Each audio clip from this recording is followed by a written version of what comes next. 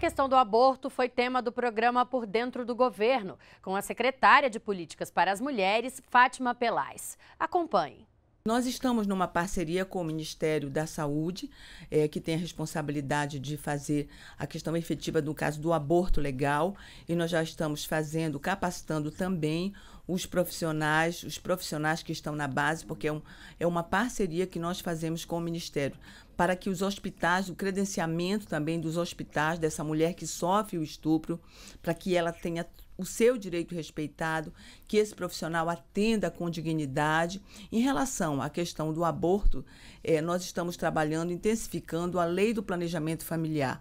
para que nós possamos, isso já vários debates, inclusive com a bancada feminina, que nós estamos trabalhando bastante mesmo nessa relação com o Congresso Nacional, é, para que nós possamos fazer com que a lei de planejamento familiar, é, que tem mais de 20 anos, ela venha a ser implementada, ou seja, é, que o homem, a mulher ou o casal tenham todo o direito é, aos métodos contraceptivos, todos os tipos de métodos contraceptivos, e fazer essa divulgação. Então, é um trabalho que nós estamos fazendo muito forte com o Ministério da Saúde para que nós possamos diminuir, no caso, porque nós temos mais de 60% das mulheres que engravidam, elas não queriam, ou seja, foi uma coisa que fugiu do, do seu planejamento. Então, significa que nós temos que também dar para essa mulher métodos contraceptivos que nós temos na lei. Então, esse é o trabalho que nós estamos fazendo para que nós possamos fazer com que também, em cada canto desse país, essa relação, incluindo as secretarias é, locais, ou seja, porque na relação com.